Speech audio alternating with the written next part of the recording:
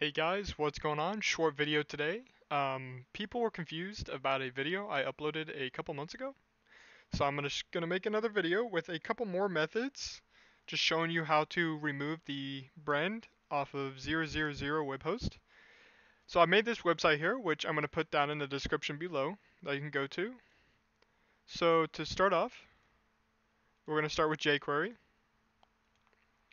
So as you can see, it does not load and I'm going to explain it here real quick. Basically, we choose the CDN, so we load the script from the jQuery website. And in the script section, we check if the document is ready, then we search the body to find an image that equals the source of the brand removal web, web uh, asset. Then we find the parent, oops, and then the parent of that one, and then we remove it. That's jQuery for you, and it still works. Someone tried to tell me that it didn't still work, but uh, it does. This is the CSS method, as of course it doesn't work. It's the easiest one to do. Anywhere in a style sheet, if you have a, a like a um, a dot CSS file, you can place this in there too, or you can place it on your main uh, HTML website. So all you need to do is just put image, and then we're just going to search the source make sure it matches, and then display none. Pretty simple, pretty easy, and works. The third method is the regular JavaScript method. Most people didn't want to use CDN, uh, or the jQuery CDN, my bad. So to do it with regular JavaScript, it is going to be a bit longer just for a backup. But uh, let me explain it to you. So this function right here, make sure that the document is ready. If not, it's going to add a, an event listener to launch the uh, function whenever it is ready.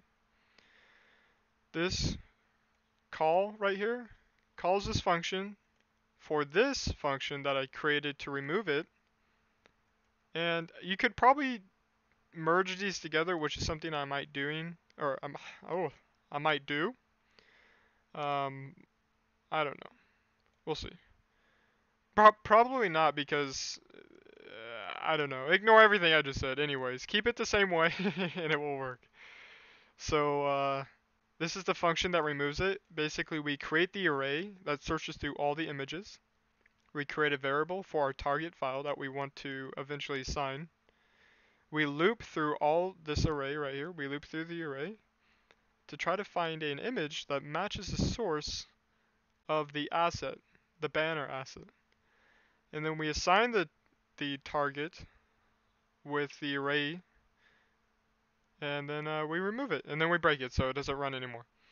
Anyways, this works. It's the longest one. You can choose the CSS if you prefer. You know, uh, I actually prefer that more now than the jQuery one just because it looks a bit more nicer, especially if someone's going through your website, um, being a little nosy. Then it just it looks more professional just to have it done this way. It looks a lot more professional just to maybe buy your own website, but this is to get it for free. And uh, if you guys have any questions, go ahead and drop a comment down below.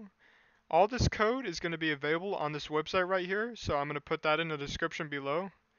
All you need to do is come to the website, say you want to do the CSS method, click on it, view page source, and then here it is for you. Don't copy this part right here because again all we're doing is display none which will make it show nothing but the code will still be there for the banner. So this is just the banner code. But yeah. Thanks for watching guys. Make sure to leave a like or subscribe if you want